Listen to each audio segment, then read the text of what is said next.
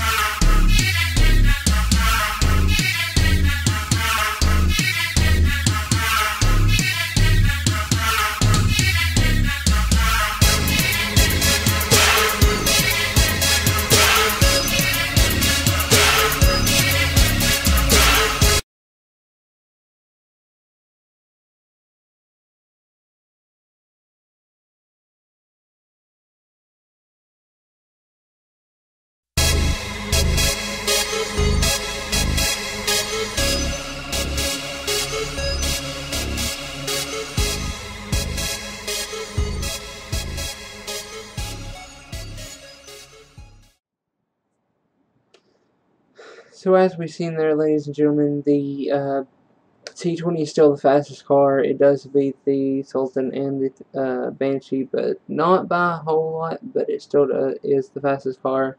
Um, and surprising enough, the Sultan actually beats the Banshee 900R. I was not expecting that at all when I tested this. Um, I was really surprised that the Sultan beat the ban the Banshee because the Banshee just seems like it it took off like crazy, especially with the double clutch. It really uh, takes off. I think um,